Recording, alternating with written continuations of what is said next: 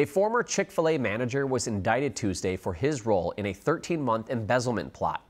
Charging documents say Timothy Hill Jr. spent over $144,000 on jewelry, online sports books, and OnlyFans from 2022 to 2023.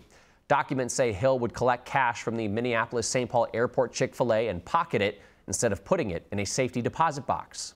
As always, you'll find more news and weather updates at WCCO.com, always streaming on CBS News Minnesota.